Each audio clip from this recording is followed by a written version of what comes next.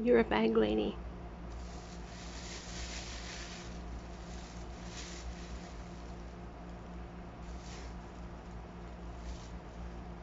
Is that your new home? Do you want me to redirect your mail there?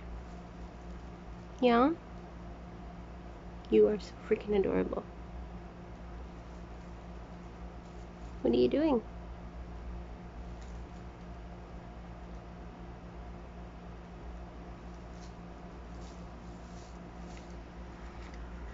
Oops.